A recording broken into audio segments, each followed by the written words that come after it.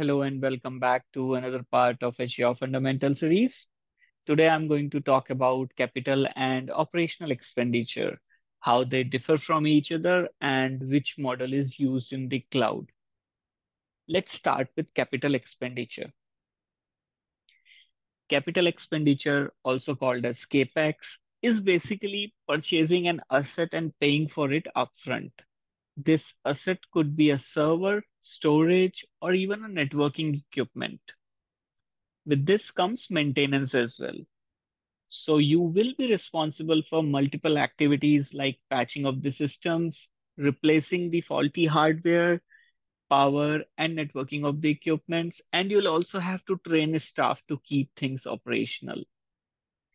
CapEx is usually associated with on-premise infrastructure as you pay a large amount upfront for purchasing something and depreciate it over time. You also spend on its maintenance, which includes the activities which I just mentioned briefly.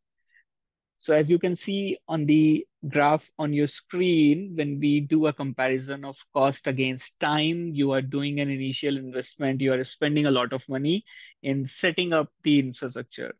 And over time, this investment gradually goes down when you are in the maintenance phase. You spend money on activities like maybe you'll have to replace a faulty hardware or you'll have to patch the system and so on. Buying capacity in this model means you initially buy a static capacity while keeping in mind a foreseeable future growth. So you don't start consuming everything as soon as you buy it, but start utilizing it over time. This results in a lot of capacity wastage as you largely don't consume it for a considerable, considerable amount of time, which is where operational expenditure is a better option. Operational expenditure or OPEX is about renting the infrastructure and cloud computing is largely associated with this model. Here you don't really need to do an initial investment and rather pay for what you use over time, which is why this model is also called as pay as you go or subscription model. So you, so you just pay for what you use. You don't really need to worry about the server capacity or any forecasting and get flexibility to scale up and down based on your requirements. And on top of it, you only get billed for what you use. Maintenance like patching of the underlying host, replacing failed hardware and so on is taken care by cloud vendor in this case, but you do need to take care of certain operational activities.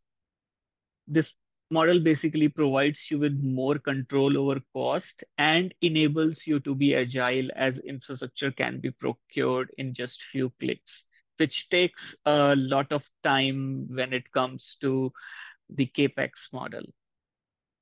When you move from on-premise to cloud, then you make a move from CAPEX to OPEX. Let's summarize now by comparing both the models. When it comes to cost structure, then CAPEX has significant upfront cost, whereas OPEX doesn't have any upfront cost. OPEX does have an ongoing cost based on the amount of usage, whereas CAPEX has low ongoing costs in terms of maintenance. Now, as CAPEX requires large initial investment, so it has significant impact on your finances, whereas OPEX spreads this cost over time, so not a major impact on cost at once. You don't get much flexibility with CAPEX as you need to forecast the capacity and buy resources accordingly, whereas uh, OPEX enables you to be agile and scalable as the cloud provider has already planned for significant growth from end users.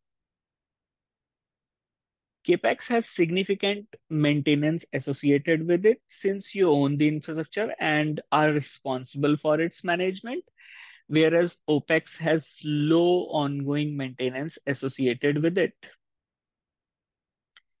That's it for this part, friends. If you liked the content I have created, then support the channel by hitting the subscribe button and sharing it in your network. I'll see you in the next part of the series.